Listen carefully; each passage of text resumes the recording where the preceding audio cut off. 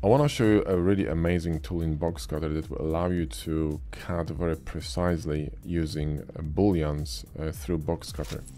So if I'm going to add a cube here and just run regular cut, you know, I can select uh, my cube, I can just, you know, click here somewhere, drag my cutter and cut. Now that's all great, but you can see that it's not symmetrical, it's not even, um, you know, I can't really specify where I'm clicking, it's not really very precise. It's great for concepting, but not for, you know, not good for precision work. Now, what if you, you know, wanted to design something a bit more precise, right?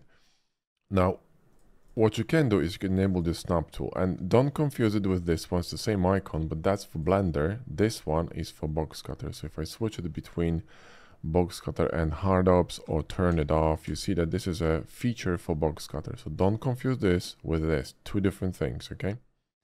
So by default, uh, you're gonna have all these options enabled here. Um, so you're gonna be snapping to uh, vertices, um, edges and faces, right? So let me show you how it works. If you hold control, and you have to hold it all the time because the dots will disappear, hover over uh, your mesh, you will see dots. And these dots will determine uh, where the anchor of the cut will be placed. So if I'm going to hover over this dot here and start drawing a cutter, you see by default it's going to be growing from the middle. So first of all, you are snapping to the dot and secondly, the origin of the cutter or the origin of the draw changes from corner to the center because here you see I'm drawing from a corner here I'm drawing from a center see the difference right now you can change this uh, very simply by going here and switching uh, the you know the draw origin or you can go to D menu and do the same thing in here.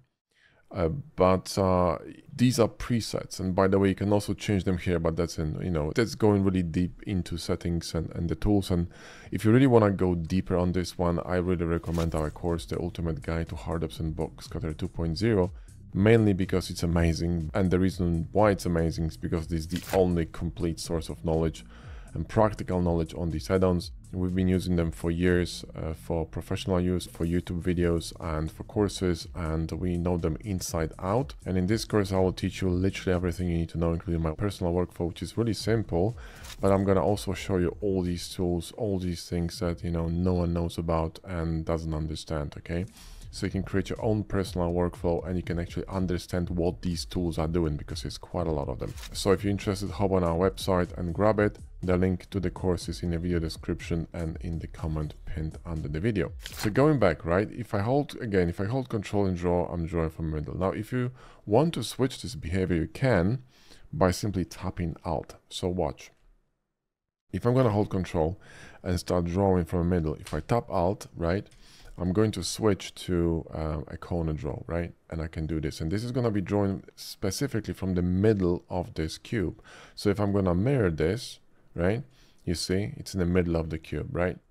So that's a very basic behavior of this tool. But, you know, we can get a bit more fancy. So first of all, what you can do, you can turn off, enable or disable different features here. It's like you can disable, for example, vert and, and edges and snap only to faces, right?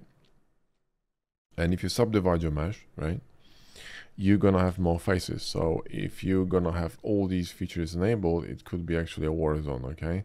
So, uh, you know, the denser the mesh, the fewer elements you wanna have enabled here, and now it's gonna be very different, right? Cool. So now what you can do, you can draw from each of these faces and you can, you know, draw a very precise cut on your mesh, right? Like for example, you could draw something in here and then mirror this to both sides and you're gonna be sure that the distance here on these sides is you know is identical. So it's great for precision work. But now check this out. You have more options way more options in here. I'm not going to be going into detail on all of them but i'll show you one or two.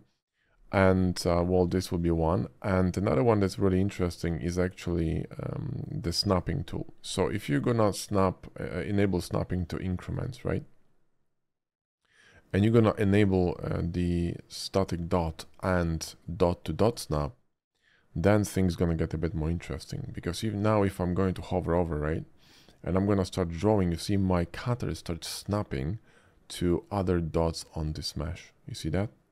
So you can get even more precise because you're not just getting precise with the origin of the draw, but now you're getting precise with the end of the draw. So you can, for example, draw something like this, right? Now this one would be precisely in the middle here, right? So distance from this face to this face or this edge to this edge is the same as on the other side. So you don't have to really mirror this, right? Um, so you, you can get seriously precise with these cuts, right? Now watch what I can do here if I'm going to align my, uh, I'm going to give you an example, align myself just to the edges. So actually let's, let's align to verts. So we can grab this vert in the middle here, that's in the middle of this cube, right? And I can actually hold control, start scrolling my mouse, which is going to allow me to preview uh, my cut. Yeah, you see that? So I'm now previewing the angle of my cut. And I can actually angle it like this and start drawing. Then I can hold Alt to start drawing from the middle and press Shift to draw a square. And now I'm really precise with my draw. So I'm drawing at an angle like this, right? In the middle of this cube. Precisely in between these elements. Now, this is fantastic for running booleans on a mesh that you're going to be subdividing. Because what you want is you want these cuts in the middle so you can connect them very easily, right? So watch this. If I'm going to go here and enable faces, and I'm going to be drawing in the middle here like this, right? If I'm going to apply this, right?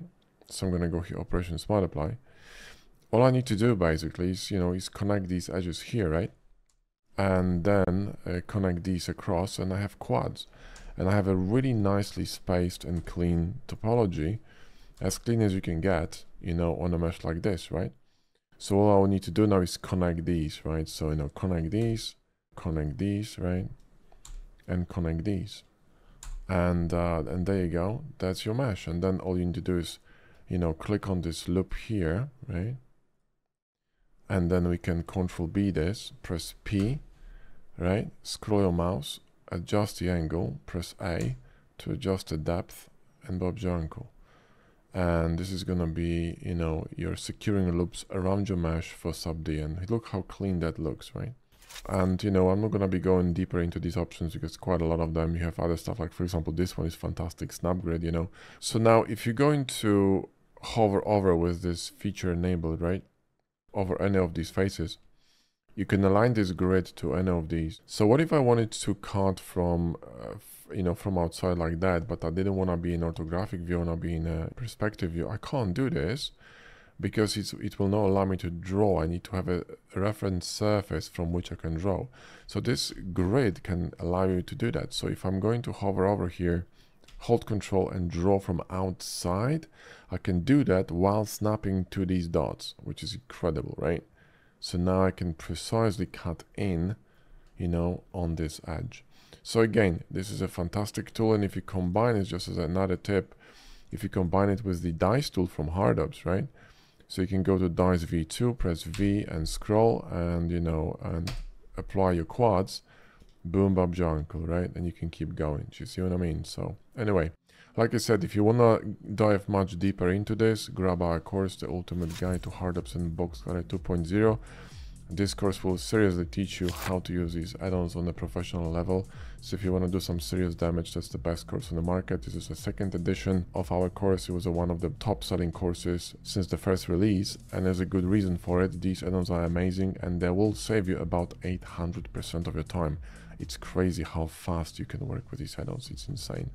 Anyway, thanks for watching and I'll see you in the next one.